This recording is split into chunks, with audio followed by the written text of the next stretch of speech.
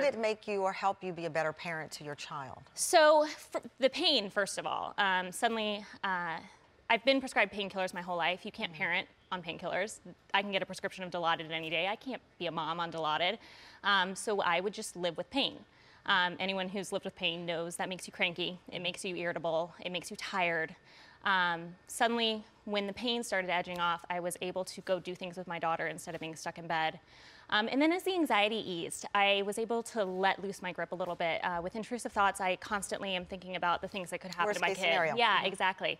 Um, and as I was able to deal with the anxiety, I was able to let my kid be a kid a little bit more without constantly being afraid of all the terrible things that could happen to her. Liz, let me bring you in because again, I, I point out this is not a one part of the country conversation. When Leah posted her story, when you highlighted it in the magazine, you heard from so many women experiencing this. I know. Well, cannabis has been a natural remedy for centuries, right? But because more and more states have legalized it and the idea of medicinal marijuana has become more accepted, uh, moms were coming out of the woodwork and sharing with each other in chat rooms. Were you surprised? Because us. you talk to moms about parents, yeah. about everything. Yes. Were you surprised at the quick response to women saying, that's me?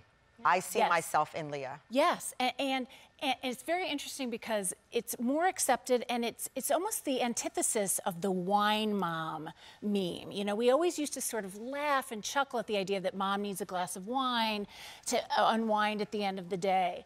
Um, this is in so many ways much more safe mm -hmm. um, because you're having small amounts of either edibles or a spray that you put on your tongue.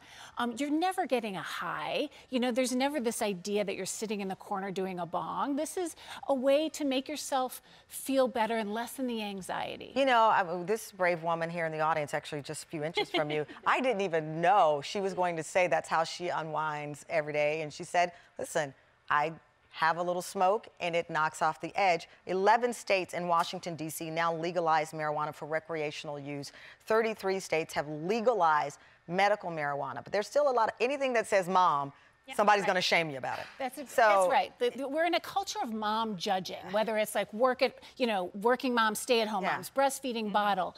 Uh, and now, because I think we're less familiar with the science behind cannabis, yeah. um, it's new, uh, we go right to shaming and blaming moms. It is. And uh, in fact, um, joining us from Cyber Hall, one of our, our TAM fam members is Jenn. I introduced you to her earlier. She's a founder of Digital Magazine for Parents Who Choose Cannabis. Um, Liz, you said you've been shamed um, by friends. I, as I understand it, you were with some friends. They were all drinking and enjoying themselves. And the minute you said you unwind with marijuana, you were judged. So, absolutely. I do think there's a double standard regarding moms who choose cannabis. Um, when I came out of the cannabis closet about five years ago. Cannabis um, closet. I've heard it all. I love it.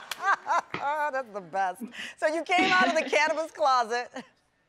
So I did that because I firmly believe that by sharing our stories, we can end the stigma and eventually dismantle the racist drug war. Yes. Um, and by and, by and large, I got a positive response from people who were close to me, my family, my friends, my colleagues, but it was other moms actually who um, shamed me the most. So wow. I would say there were certain people who I knew because of my daughter's relationship with them. And we would meet at the park every week or have a play date.